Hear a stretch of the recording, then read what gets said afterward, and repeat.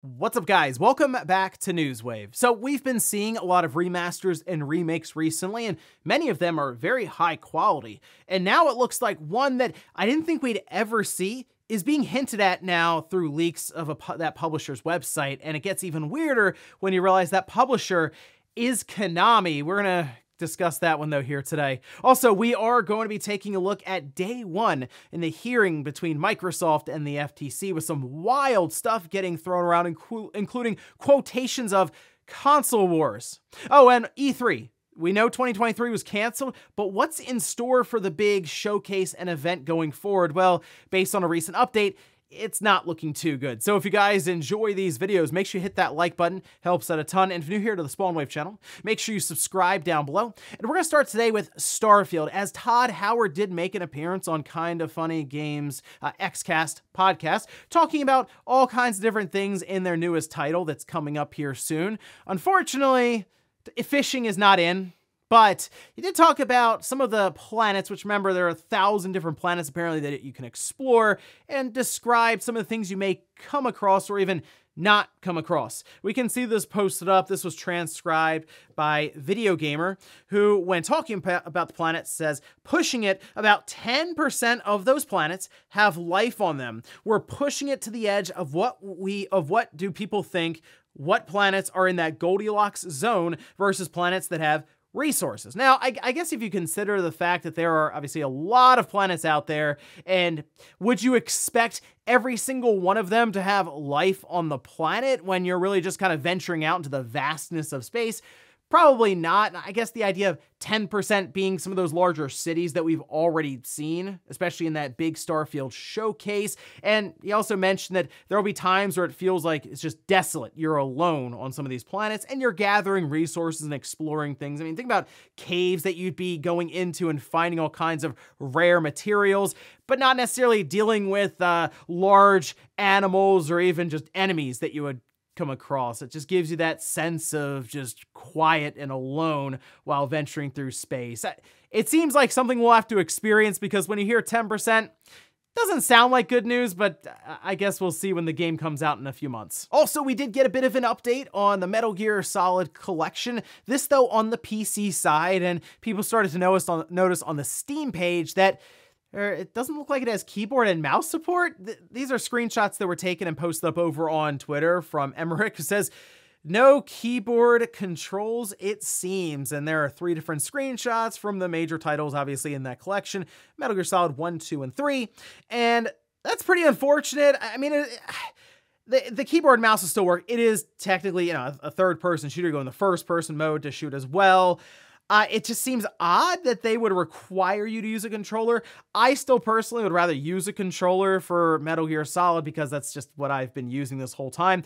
I know there were PC versions of Metal Gear Solid 1 and 2, but even that was a little sketchy just in the port job. And now I'm, I'm thinking of that, seeing no keyboard and mouse support here makes me worry a little bit about some of these ports for PC, but it's still nice to have all these games in one collection, and I guess we'll find out more as we get closer in October, specifically the quality of these ports. Oh, and here's something exciting to look forward to for QuakeCon, especially for Quake fans who really liked seeing that Quake remastered that was that was unveiled a couple of years ago. We can see this posted up by Gematsu, who noticed that Quake 2 Remastered was rated in Korea. Now, remember, QuakeCon is coming up starting August 10th, and a couple of QuakeCons ago, Quake Remastered was unveiled, so it seems fitting that we would probably see Quake 2 remastered shown off as the same actually the same thing happened.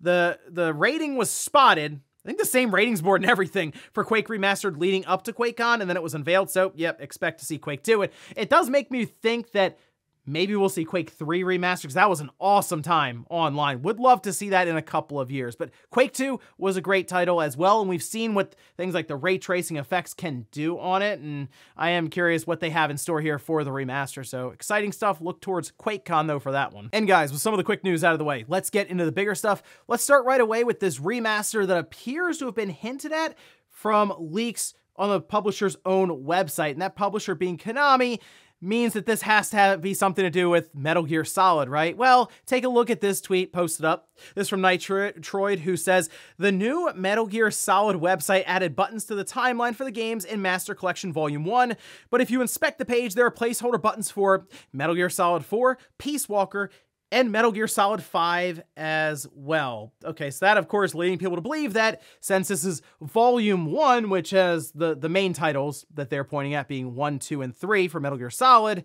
well, the next one would probably, volume 2, have Metal Gear Solid 4, 5, they're talking about Peace Walker, but you could also bring in some other games like Acid, right? That was kind of a strange title from the PSP, but you package that in with the other three titles and you could have something pretty cool there, especially for fans of the, series, the series with a lot of nostalgia attached to it. But Metal Gear Solid 4 is the one that everyone's going to take notice of if indeed this ends up being correct.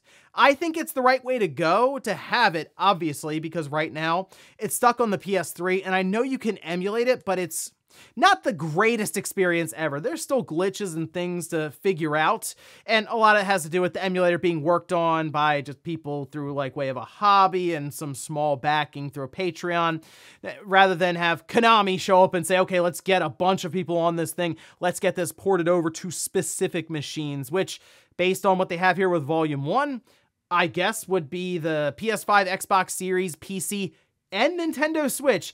Could you imagine having Metal Gear Solid 4 on the Switch. That'd be that'd be an interesting timeline to live in. But I would love to see this happen. One, it'd be great to have Volume 1 and 2 and basically have the entirety just about of the Metal Gear series available to you on a platform. But two, Metal Gear Solid 4 just needs to be experienced by more people. I just thought it was a really cool game to play through. And yeah, it definitely plays into the, the fan service and the nostalgia, but that was kind of the idea as it was bringing closure to the entire series, since technically 5 went back well before Metal Gear Solid 4. But it is interesting to see this story pop up after we had just talked about how it was revealed that Konami had Metal Gear Solid 4 running on the Xbox 360, so we kind of know it's possible that it's not all linked to the cell processor of that PS3, and all of a sudden Konami's becoming much more interested in releasing games on consoles, right, and PC and stuff, so getting away from that pachinko machine infatuation,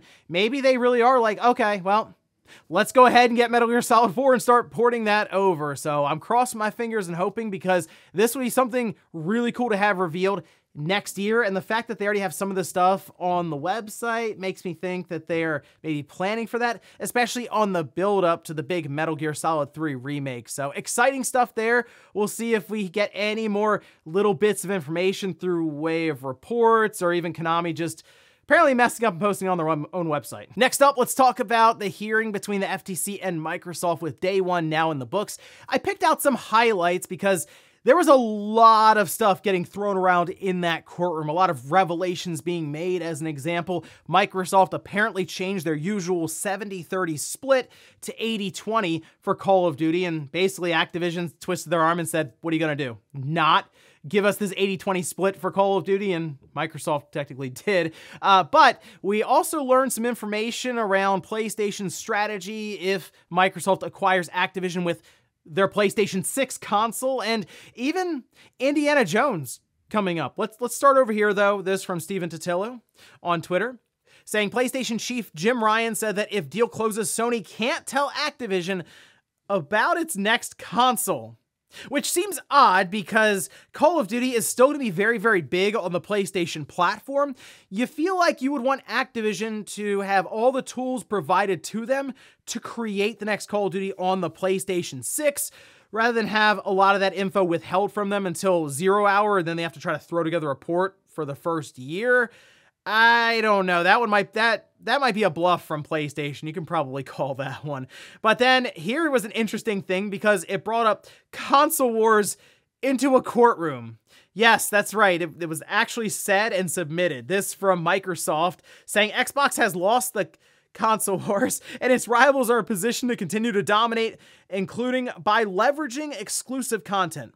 Xbox has consistently ranked third in consoles behind PlayStation and Nintendo. It is amazing that when the history books are written about this point in time and maybe kids in uh, school learn about it, we would have just been joking back and forth about console wars, but we actually would have been le- learning about console wars there uh, in the classroom.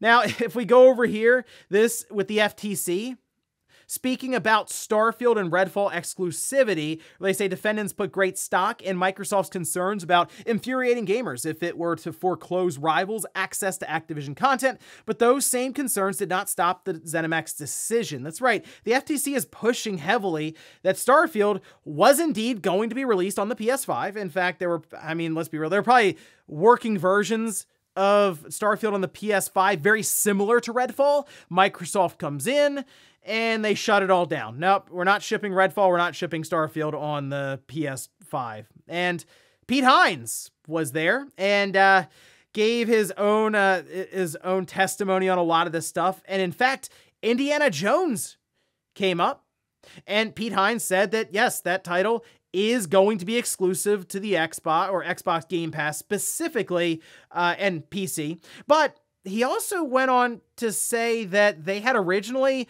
drawn up a contract with Disney that would have included a multi platform release, so the PlayStation 5.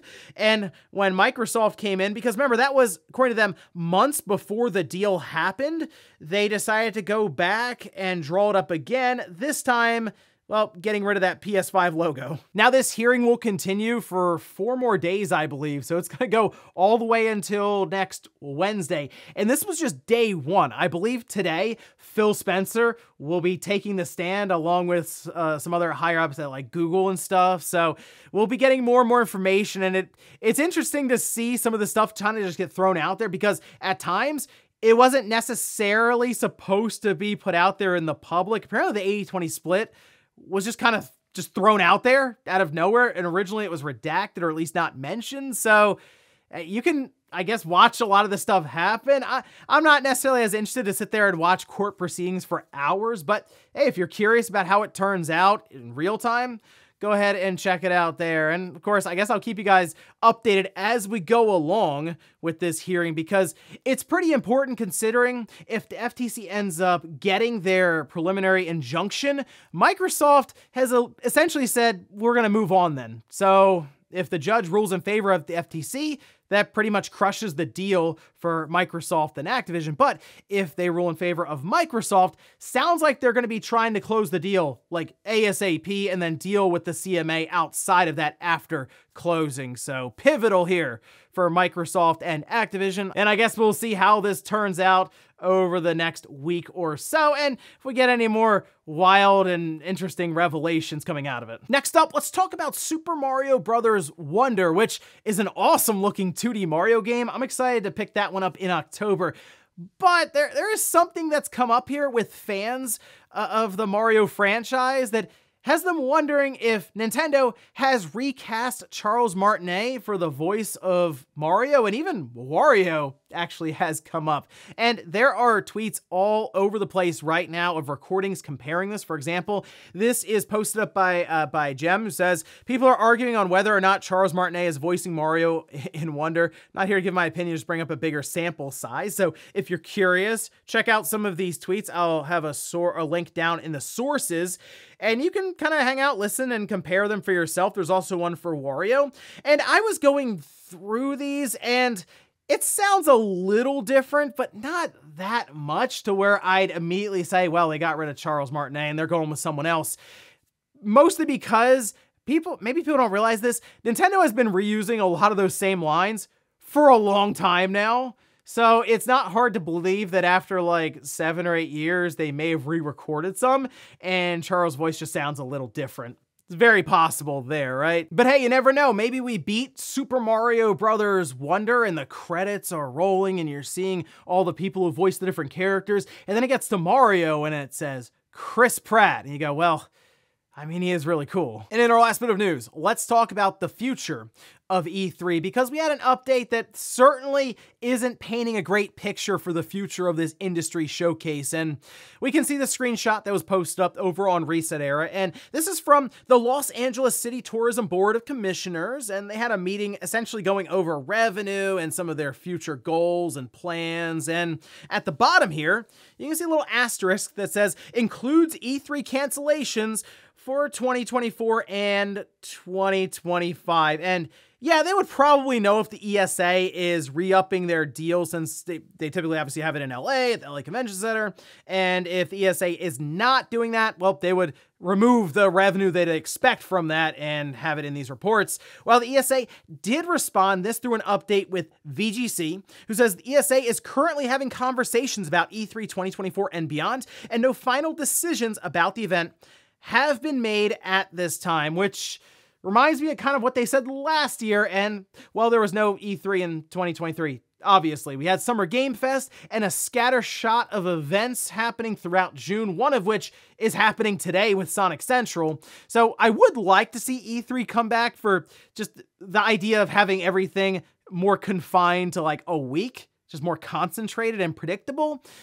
But E3 is not going to work if they just try to do it the same thing again. And that's the hard part is figuring out what can E3 be right now in this current climate of social media and a lot of companies and publishers and developers ability to just click a button and go live and set up their own presentation that doesn't cost anywhere near the amount that it did to set up an entire spot on the showroom floor at E3. Now, the fact that they don't appear to have a setup in LA with the LA Convention Center and all this makes me think that if anything, they're shopping around to other locations. I, I've heard a couple, like New York's been floated. What, uh, I've seen Las Vegas come up. I think New York would be mayhem. I think Las Vegas would probably make more sense overall for what they're technically considering.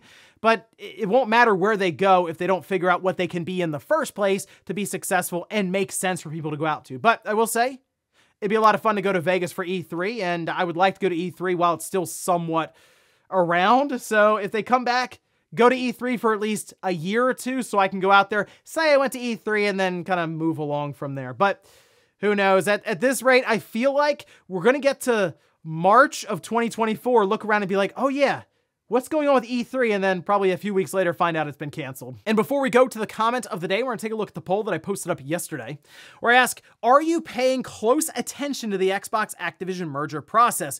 Okay, 57% say not really unless some big news drops about it. 31% say no, I'm just waiting for it to wrap up at this point. And 12% say yes, I'm following every bit of info that comes out. I saw some people in the comments say, well, yeah, I, I, I watched the show here, I am following it. Not really. I haven't been covering that much because I was just waiting for like big events to happen or serious news. There's just a lot of small things that have been coming out. But now that they've basically reached the end game here with this hearing that's more or less going to decide if Microsoft is able to acquire Activision Blizzard, I'd say it's definitely worth covering now as long as this hearing is going on, and I guess that's what we're going to be doing. And we'll finish up with the comment of the day, as you're seeing here. This is from SCJ Productions saying, It feels absurd to say, but I was a bit disappointed. When I first saw Final Fantasy 16 got an 88 on Metacritic as after the demo, I would have expected above a 90. I'm a few hours into the full game now that it's released, and with my time played post-prologue, that 88 score still feels too low, as the game has blown me away. I, I see this still now, and I mean, our expectations have continued to rise. 88 is a good score for a video game on Metacritic.